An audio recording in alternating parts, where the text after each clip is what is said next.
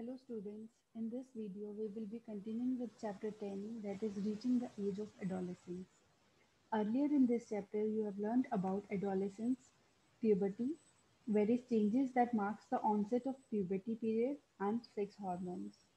Now in this video we will be continuing with the chapter and the first topic is hormones other than sex hormones. There are many endocrine glands present in the human body, such as pituitary gland, thyroid gland, pancreas, and adrenal gland. Their position in the human body can be seen in figure 10.5. The pituitary is attached to the brain as you can see in the figure. So the hormones secreted by pituitary gland stimulates the testes and ovaries that are the male and female reproductive organs so that they can produce their hormones estrogen and testosterone. Now let's discuss about few disorders that are caused by lack of hormones in sufficient amount in human body. First disorder is goiter. It is the disease of the thyroid gland. In this disease, the thyroid gland is not producing the hormone called thyroxine in proper amount. So the patients have big and bulging throat as shown in image. Next disorder is diabetes. When pancreas is not producing the hormone insulin in sufficient quantities, then it causes diabetes. Insulin is a very important hormone in our body because because of the presence of insulin, our body can use sugar or carbohydrates as energy source. So when this hormone will not be produced in sufficient quantities, our body will not be able to use carbohydrates as energy source. And our body will be suffering from diabetes. Now let's discuss about adrenal glands. Adrenal glands secrete hormones which maintain the correct salt balance in the blood. Adrenal glands also produce the hormone adrenaline. It helps the body to adjust to stress when one is very angry, embarrassed, or worried. So that is why it is also called stress hormone. Thyroid and adrenal secrete their hormones when they receive order from pituitary gland through its own hormones. So along with these hormones, pituitary also secretes growth hormones, which is necessary for the normal growth of a person. Now let's discuss the role of hormones in completing the life history of insects and frogs.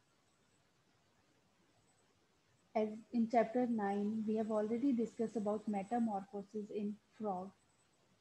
So metamorphosis is basically the change from larva stage to adult stage. And when we talk about metamorphosis in insects and frogs, in insects, this process is controlled by insect hormones. And in frogs, it is controlled by thyroxine, the hormone that is produced by thyroid gland. As we all have studied in chapter 9 that in frogs, external fertilization occurs and that requires fertilization in water. So whenever a frog lays eggs and it needs to be fertilized, the water should have sufficient amount of iodine in it so that the frog can frog's thyroid can release thyroxine because Thyroxine production requires the presence of iodine in water. And if the water in which the tadpoles are growing does not contain sufficient iodine, then the tadpoles cannot become adults. So the metamorphosis process will not be occurring and the insect or the frog will eventually die. Then let's discuss about reproductive health. The physical and mental well being of an individual is regarded as an individual's health. To keep the body healthy, every human being needs to have a balanced diet. And along with the balanced diet, the person must also observe personal hygiene practices and undertake adequate physical exercise also. This is essential for the growth of the body during adolescence period.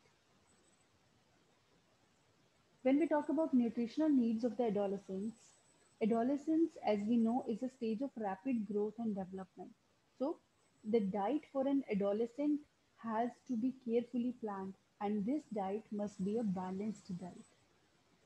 When we talk about balanced diet, it means that the meals should include proteins, carbohydrates, fats, and vitamins in proper proportions.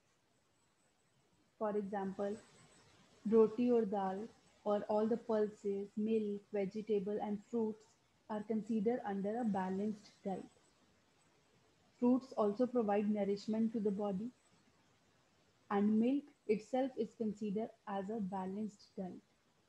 For example, in infants, mother's milk provide all the nourishment that they need. So that is why it is considered as a balanced diet. Iron builds blood and iron-rich foods such as leafy vegetables, jaggery, meat, etc. are good for adolescents for their proper growth and development. So they should consume a balanced diet. Now let's discuss about personal hygiene practices. Everyone should have a bath at least once every day. And it is more important for the teenagers because the increased activity of sweat glands during puberty sometimes make the body smelly, especially in summer season. And if cleanliness is not maintained, there are chances of catching bacterial infection also. Moreover, girls should take special care of cleanliness during the time of menstruational flow. They should keep track of their menstruational cycle and be prepared for the onset of menstruation cycles. Then we have physical exercise, which includes walking and playing. As walking and playing in fresh air keeps the body fit and healthy, so all young boys and girls should take walk, exercise and play outdoor games daily so that they can have proper growth and development during adolescence period. In the end, let's discuss about drugs. As adolescence period is a period of much activity in the body and mind, which is a normal part of growing up. So one should not feel confused or insecure. And during this confusion or insecurity, if anybody suggests you to get some drugs, you should say no unless it is prescribed by the doctor for any disease. As drugs are very addictive, if you take them once, you feel like taking them again and again. And eventually, when you are taking them again and again, they will harm the body and they will ruin your health and happiness also. AIDS is caused by a dangerous virus, HIV. This virus can pass on to a normal person from an infected person by sharing the syringes used for injecting drugs. It can also be transmitted to an infant from the injected mother through her milk, and it can also be transmitted through sexual contact with a person that is infected with HIV. So, one should always say no to drugs until and unless it is prescribed by the doctor. So, the, with that, our chapter 10 is complete. I hope you all have understood the concept very well. Thank you for listening.